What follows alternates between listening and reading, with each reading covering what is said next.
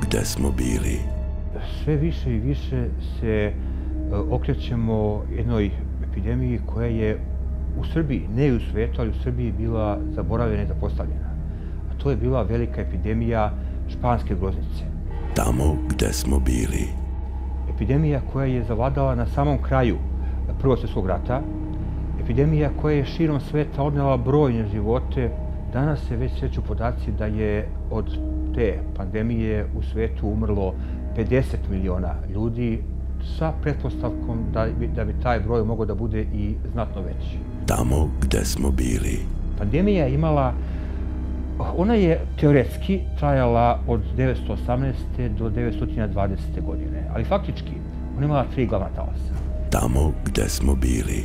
Nije došlo do, masnog prokruživanja, nije došlo do sticaja kolektivnog imuniteta i tako je taj uh, zimski talas iz 1918. godine se uh, manifestovao.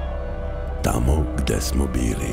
Zašto španski grip? Uh, sve zemlje su bile u ratu.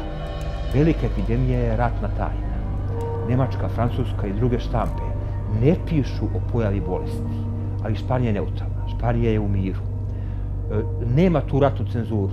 Španija slobodno piše o bolesti koja se kod njih razvija, naročito kada su oboleli kralj, premijer i skoro cela španska vlada.